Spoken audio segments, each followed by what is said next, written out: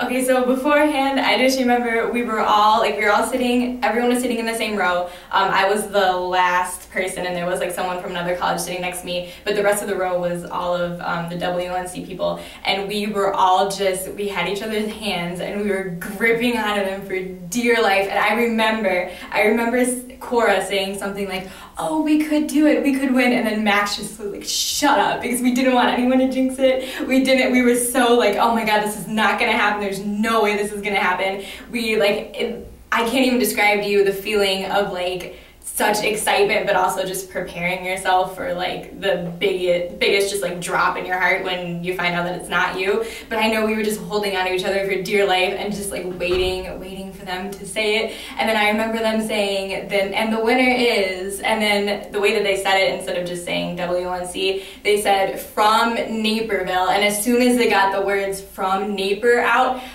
everyone up, everyone's screaming. I remember Wesley was just there bawling her eyes out. We couldn't get her up. She just was in the chair, just bawling, bawling, like, and we were just hugging each other, just screaming, jumping around. Like, it was, it was the most, literally the most intense thing I've ever experienced. I was like sobbing. It was just the feeling of everything that I've done here at WUNC, like coming to that culmination, which is something I never would have expected when I first started here.